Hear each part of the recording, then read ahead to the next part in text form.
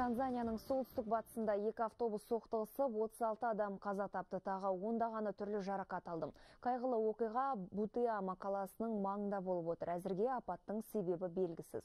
Жалпы Танзанияда жол көлік оқиғалары жиі тіркеледі. Жергілікті полицейлердің мәліметіне сай, елде былтыр апаттан 1900-ге жуық адам қаза болған.